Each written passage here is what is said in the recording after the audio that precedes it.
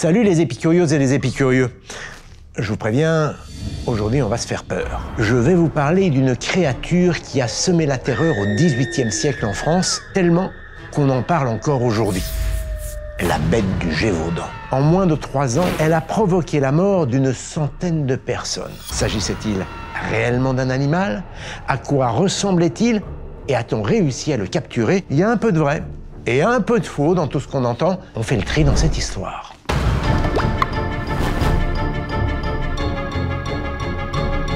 Si ce format vous plaît, n'hésitez pas à liker cette vidéo. J'ai plein d'histoires comme celle-ci dans mes tiroirs. Le 30 juin 1764, une jeune bergère âgée de 14 ans, Jeanne Boulet, est retrouvée morte près de Langogne, un petit village du Gévaudan.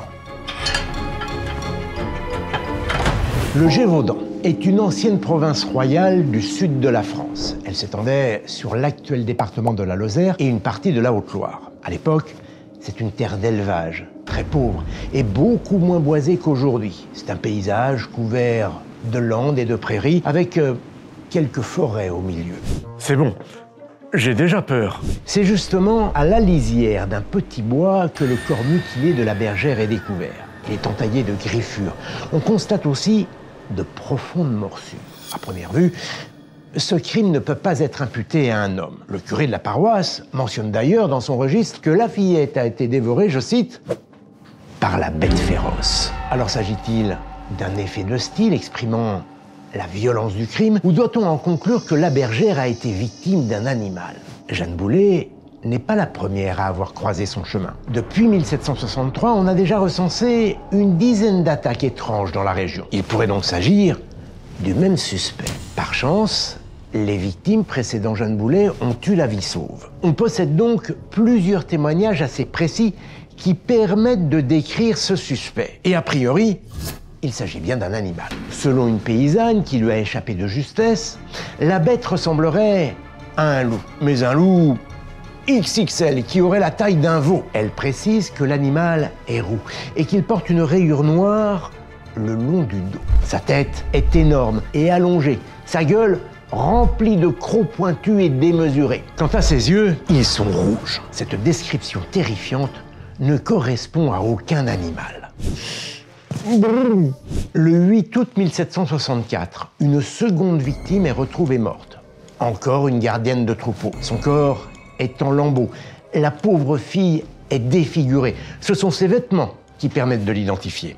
Mais c'est horrible Ça fait deux agressions mortelles en un peu plus d'un mois. Dans la région, la peur commence à s'installer. Les bergers, plus menacés que les autres, forment des groupes pour ne plus être isolés. On fait aussi appel à l'armée pour tenter de débusquer l'animal. En février 1765, entre 20 et 30 000 habitants, hommes et femmes sont mobilisés. On organise plusieurs battues, mais en vain, la bête échappe aux poursuites. Malgré la traque, les attaques reprennent de plus belle. Les cibles sont toujours les mêmes, de jeunes gardiens ou gardiennes de troupeaux et des enfants isolés. On les retrouve égorgés, parfois décapités. L'affaire n'échappe pas aux journaux de l'époque. Deux publications, le Courrier d'Avignon puis la Gazette de France, s'en saisissent, relatant les découvertes macabres et informant les lecteurs sur l'évolution de l'enquête. Peut-être parce qu'ils n'avaient rien d'autre à se mettre sous la dent. En quelques jours, l'information se répand sur tout le territoire. On s'arrache les numéros consacrés à ce fait divers et à cet animal mystérieux que l'on surnomme désormais la bête du Gévaudan. En à peine un an, des centaines d'articles sont publiés dans les gazettes. Et pas qu'en France. La renommée de la bête dépasse les frontières du royaume de France pour atteindre l'Angleterre, l'Espagne et les États allemands. On en parle jusqu'à San Francisco en Amérique. C'est le premier fait divers de l'histoire de dimension internationale. Face à la colère du peuple, qui monte un peu partout, attisé par les journaux qui utilisent ce prétexte pour remettre en question le pouvoir, Louis XV doit changer son fusil d'épaule. Et à bien y réfléchir, cette affaire pourrait lui être utile.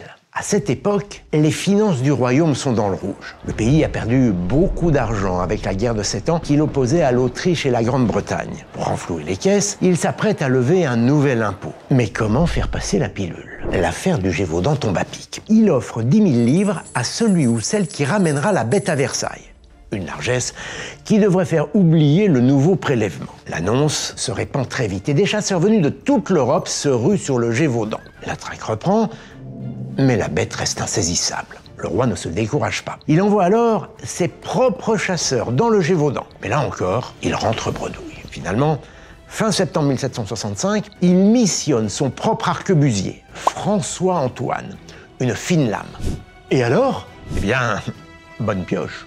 Le 20 septembre, il fait un retour triomphal à Versailles avec un joli trophée, la dépouille d'un grand loup que ses hommes ont abattu. Son allure et ses couleurs correspondent à la description fournie par les témoins. On l'empaille et on l'expose fièrement dans les jardins du roi.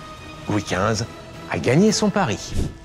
Ouf Faut le dire vite, car quelques semaines plus tard, les attaques reprennent, faisant de nouvelles victimes. Les habitants de la région désespèrent. Ni les prières, ni les armes ne mettent fin au cauchemar. Et puis, le 19 juin 1767, trois ans après la première attaque, Jean Chastel, un chasseur de la région, surprend un étrange animal. Son cœur bat la chamade. Il ajuste son fusil, aligne la bête et vise. Il tremble un peu, retient son souffle pour trouver un peu de calme, car il ne faut pas louper la cible. Enfin, il passe la détente et abat un énorme animal au lieu dit la sogne d'Auvert. Le spécimen est décrit comme une créature proche du loup avec une tête hideuse. La bête est ensuite conduite à Versailles où elle est examinée par le célèbre zoologiste Buffon. On a cherché, mais malheureusement, il n'a laissé aucun document à ce sujet. L'animal aurait ensuite été enterré dans le parc de Versailles où, dit-on, ses ossements se trouveraient encore aujourd'hui. Toujours est-il qu'à partir de ce moment, les attaques ont cessé. Clap de fin Eh bien non. Au contraire même, la légende de la bête du Gévaudan ne fait que commencer. Pour de nombreux spécialistes de l'affaire, l'animal abattu par Jean Chastel n'était pas le bon. La publicité faite autour de sa capture n'aurait servi qu'à éteindre l'incendie. De nouvelles hypothèses, plus folles les unes que les autres, commencent alors à courir sur la véritable identité du monstre. On pense par exemple que cet étrange animal aurait servi à masquer la présence d'un tueur en série dans la région. Celui-ci aurait agi accompagné d'un gros chien. Mais aucun indice ne le prouve. D'autres avancent la possibilité d'un fauve égaré, une hyène ou un jeune lion. Dans cette région, à cette époque, c'est quand même peu probable. À moins qu'il s'agisse d'un animal retenu en captivité par un aristocrate du coin qui se serait échappé. Plusieurs historiens contemporains ont également tenté de faire la lumière sur cette étrange affaire. Dans un livre intitulé Monsters of the Gévaudan, l'américain J. Ames Smith, spécialiste de l'histoire de France, émet une idée nouvelle. Les agressions n'auraient pas été le fait d'un seul animal, mais d'une meute de loups. L'écrivain Bernard Soulier, qui lui est originaire du village où la bête a été abattue, penche pour une autre hypothèse, celle d'un animal hybride, quelque chose entre un chien et un loup. Dans un livre publié en 2010, le journaliste Jean-Claude Bourret valide quant à lui l'hypothèse que l'animal tué en juin 1767 serait bien la bête du Gévaudan. En 2016, il en propose même une reconstitution sur la base des descriptions faites à l'époque, une gueule monstrueuse avec des yeux rouges. Bah ça me donne pas envie d'aller lui caresser les chines à cette bestiole.